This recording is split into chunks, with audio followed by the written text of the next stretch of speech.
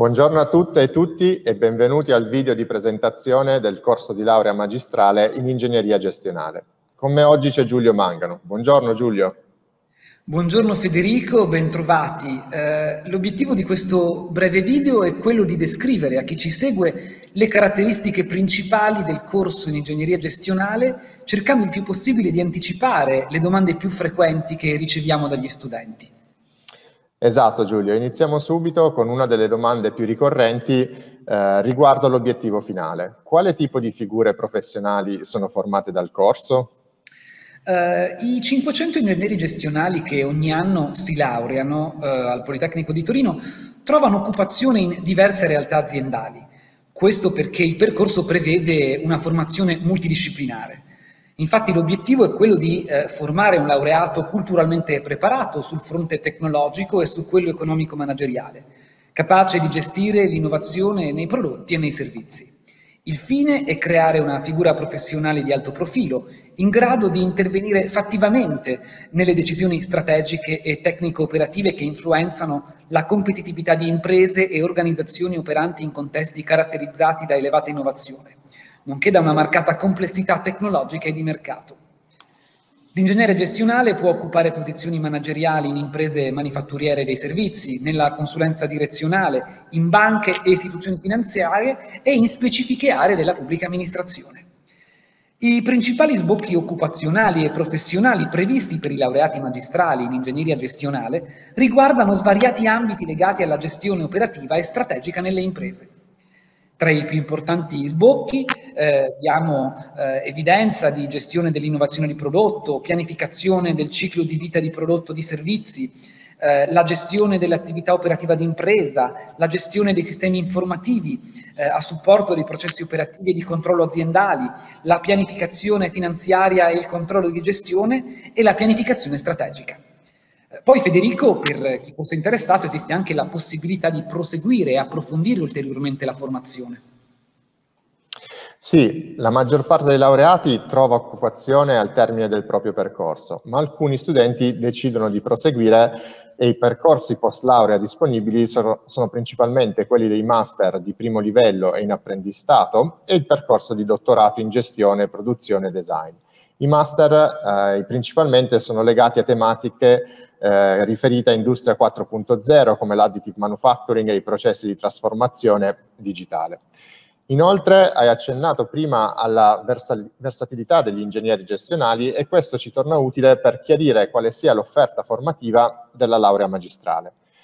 Nelle slide che vi mostriamo sono elencati diversi indirizzi eh, che, per, che sono disponibili agli studenti nei due percorsi di italiano e in inglese. Tutti i percorsi hanno dei corsi in comune e altri corsi che sono caratterizzanti. L'obiettivo è quello di creare delle competenze trasversali e delle soft skills che sono utili alla comprensione della complessità e della gestione della tecnologia. Gli studenti riceveranno una formazione su argomenti legati all'analisi della struttura dei mercati sotto il profilo economico e giuridico, alla gestione di progetti di sviluppo di nuovi prodotti, la gestione della qualità e legati alla strategia di impresa. I diversi indirizzi disponibili vanno incontro alle esigenze del mondo del lavoro e si distinguono appunto nelle due macro aree di percorsi in italiano e in inglese. Tra i percorsi in italiano segnaliamo la gestione dell'innovazione e dell'imprenditorialità, ICT e Data Analytics per il management, supply chain e sistemi di trasporto, industria 4.0, gestione e progettazione dei servizi. E poi disponibile anche il percorso finance che è caratterizzato da corsi in inglese che è disponibile anche per i percorsi in inglese.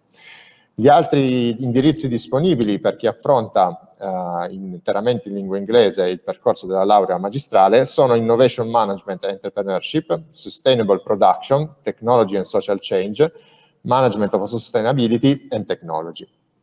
In aggiunta a questi percorsi tutti gli studenti hanno l'opportunità di partecipare a, a un'esperienza di tirocinio. Questa scelta è molto apprezzata dagli studenti, per cui il 70% di loro inizia questo percorso per anticipare eh, la comprensione delle dinamiche e delle logiche aziendali interagendo con una delle 500 aziende che abbiamo ospitato, eh, che, os che ospitano i nostri tirocinanti in Italia e all'estero. E a proposito di esperienze all'estero, Giulio, quali sono le opportunità di mobilità internazionale?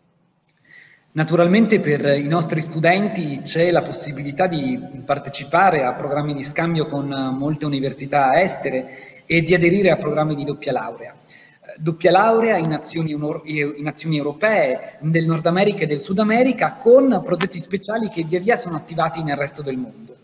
Oltre ovviamente ai programmi dell'Unione Europea Erasmus ed Erasmus Mundus e eh, a proposito di questo, eh, vale la pena sottolineare che a sostegno di queste iniziative sono previste ogni anno circa 20 borse di studio. Dobbiamo aggiungere altro, Federico? Ma abbiamo detto quasi tutto, ci rimane ancora da riportare quello che è diciamo, il feedback degli, degli studenti, ossia i risultati in termini di soddisfazione del percorso scelto. Nel 2019 è stata condotta un'indagine su più di 200 laureati in ingegneria gestionale e più del 90% si è ritenuto soddisfatto di questo percorso e il 90% sceglierebbe nuovamente ingegneria gestionale. Con questo vi abbiamo detto tutto, vi ringraziamo per averci seguito e vi ricordiamo che tutte le informazioni di dettaglio sono disponibili sul sito del Politecnico di Torino e anche sul portale degli Open Days. Grazie, grazie a voi e grazie Giulio. Grazie Federico, a presto. Arrivederci.